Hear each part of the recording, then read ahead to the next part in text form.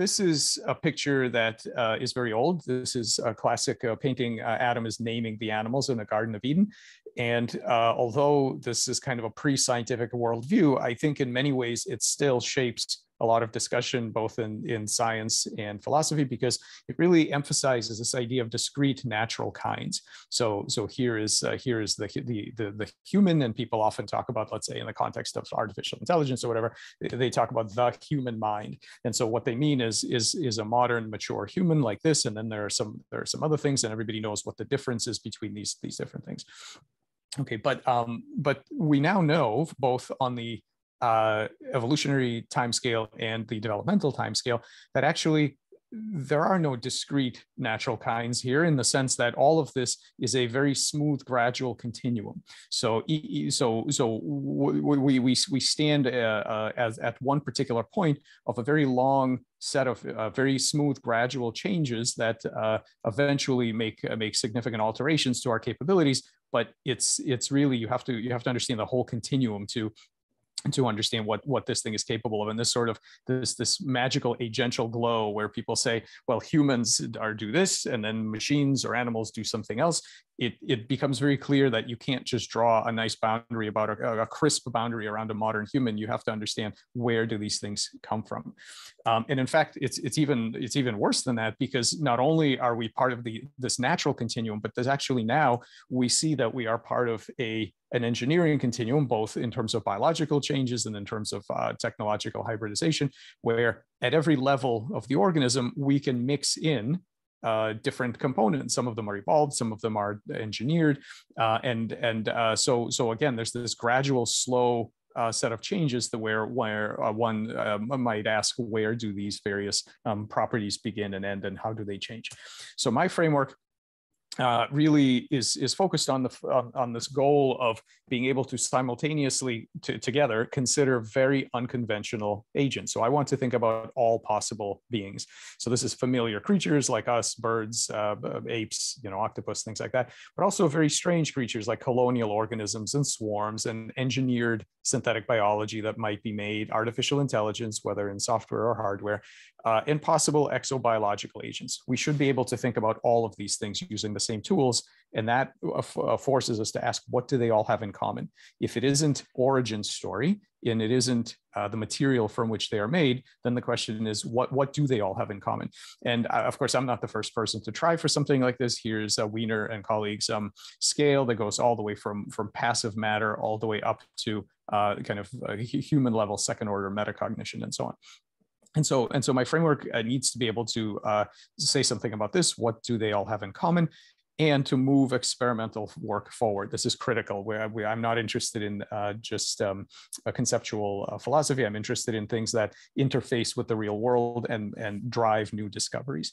And so uh, kind of a central uh, component of this is the idea that the kinds of systems that we're interested in exist on a, a, spectrum, and it's a spectrum of persuadability. What that means is that there is an observer, uh, and it might be the system itself, it, but it doesn't have to be an external observer. It's, systems are also observers of themselves and their own parts. But there's an external observer that must ask the question, what is the most efficient way to interface, functionally interface with that system. So for example, for certain systems like, like uh, mechanical clocks, um, you're not going to convince them of anything. You're not going to reward or punish them. The only thing you can do is modify them via hardware and uh, or hack them in that, in that simple sense. Uh, there are other systems that are uh, so these kind of cybernetic homeostatic systems where you might be able to take advantage of the fact that uh, they pursue simple kinds of goals and you might rewrite uh, or edit some of those goals and let the system take care of the rest. And then more complex agents, you can uh, harness rewards and punishments and let the system make all of the necessary internal changes in itself to uh, behave differently in the future according with the experiences that it's had. So you rely on its learning interface.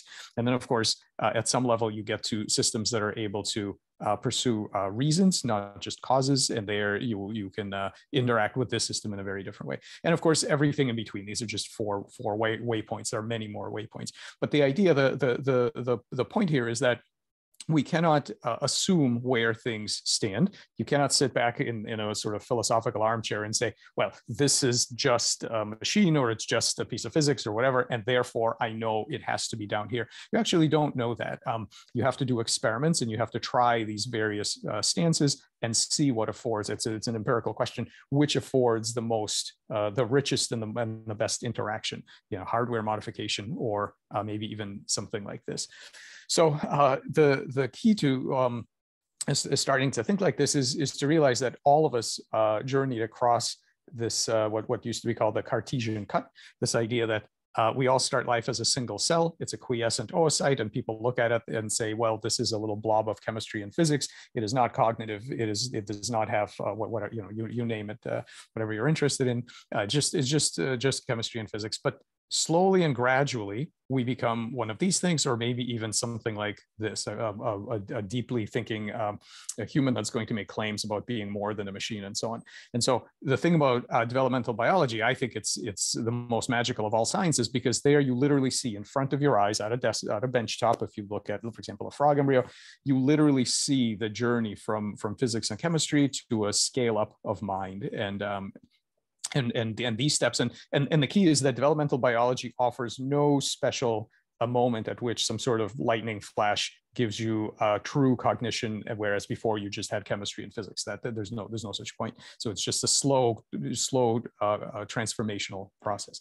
But we can think at least we're a unified intelligence, right? We all feel ourselves as as one unified being, and and we don't think we're the same as let's say a colony of ants, which is a, like a traditional um, collective intelligence. Uh, you know, that's that's a, we we we're we're a, we're we're not a collective intelligence, right? We're we're we're unified in some sense. Um, in fact, in fact, they Descartes was really into the uh, pineal gland because there was only one of them in the brain, and he felt that the the unified character of human experience uh, required uh, a, a, singular uh, structure in the brain to to mediate it. But if he had had access to good microscopy, what he would have seen is that actually there's not one of anything. Uh, in inside that pineal gland is this. This is what it looks like. There are many many cells, and inside each of those cells, there's all of this stuff. So uh, just just the tremendous, and this isn't even this is by no means all. So we are uh, we are uh, very much a uh, a collective. Um, in fact, um, I think all intelligences are collective intelligences in the sense that they're made of parts, and we really need to understand how this uh, how this scale up um, happens. Uh, this is this is the kind of thing we're made of. This is a single cell. So this is a free. This happens to be a free living organism known as a Lacrymaria. You can see what it's doing. It's it's it's uh, hunting and it's uh, for food in its environment. It has huge competencies for single cell level agendas. So it uh, handles its physiology, its um, anatomical needs, its uh, metabolic needs, and so on, all at the scale of one cell. There is no brain. There's no nervous system. Uh, this is the agential material out of which we are all made. Individual cells have lots of competencies. And we need to start thinking about this because we're used to we're used to thinking about uh, coarse grained higher level beings for example here's a rat the rat presses a lever learns to get the reward and now the rat uh, owns the associative memory between pressing the lever and getting the reward but in fact there are no individual cells in this creature that had both experiences there were cells at the bottom of the of the uh, foot that interacted with the lever there are cells in the gut that uh, reap the, uh, the, the, the, sugar of the reward, but no individual cell has both experiences. So who is it that actually owns the association? Who, what, what can make the association between these two experiences? And what is this, this rat that we say? Uh, it, it, it, requires, this whole, this whole process requires a kind of cognitive glue. It requires a way to uh, synthesize from the experiences of individual cells to something much larger that can have goals and preferences and um, competencies, memories, agendas, and so on that no individual cell has. And so we need to understand this.